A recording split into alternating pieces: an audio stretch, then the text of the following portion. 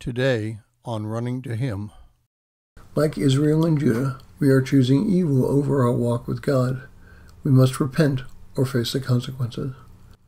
Today's reading is Hosea chapter 12, and we will concentrate on verses 1 and 2. Hosea 12, 1 and 2 says, Ephraim feeds on wind, and pursues the east wind continually.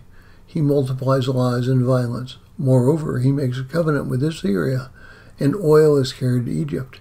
The Lord also has a dispute with Judah, and will punish Jacob according to his ways, pay him according to his deeds. Now, has a Christian walk with God in the United States been perfect? Well, the short answer to that question is no. But at no time in our history has the United States been so devoid of respect for spiritual things.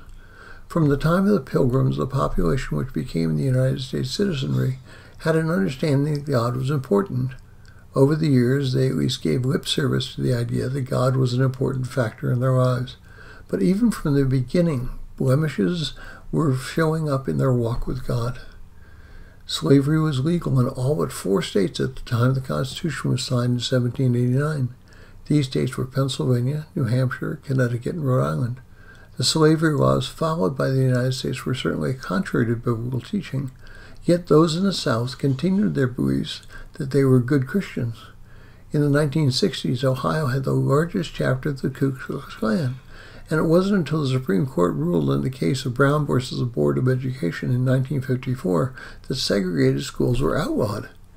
In the late 1960s, the most radical demonstrations against the busing of school children was in Massachusetts. Today we are faced with social disorder never seen in our country before.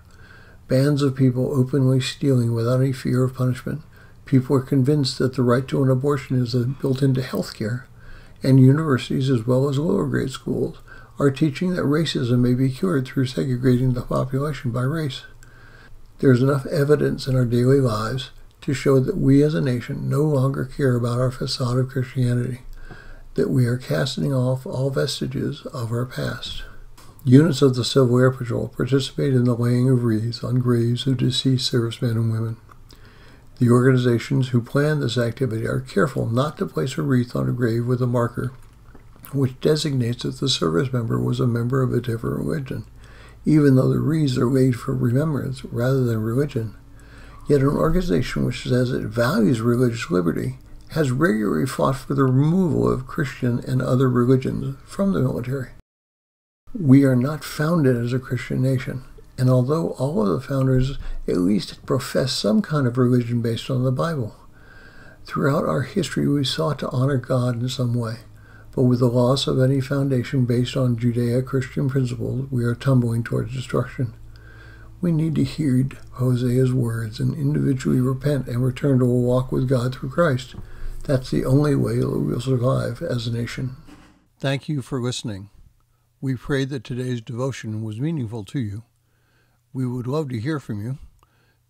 You can use either Facebook or YouTube to like, subscribe, share, and tell others about us.